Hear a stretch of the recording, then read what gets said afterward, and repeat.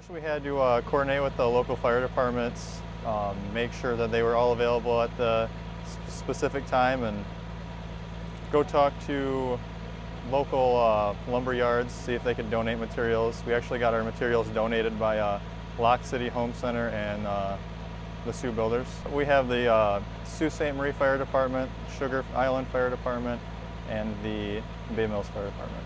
It represents a mock dorm room, uh, just filled with typical things that you'd find in the average uh, dorm room here on campus. I hope the students feel uh, that they need to take the proper precautions, that way something like this doesn't happen. I believe that most students are smart enough to know, but the smaller things like just a mere candle laying on your desk could light the whole thing up in a matter of seconds.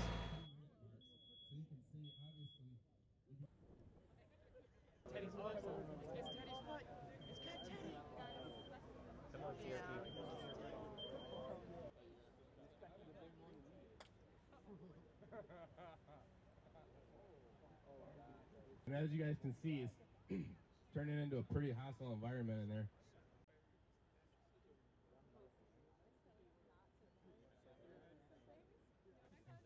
As far as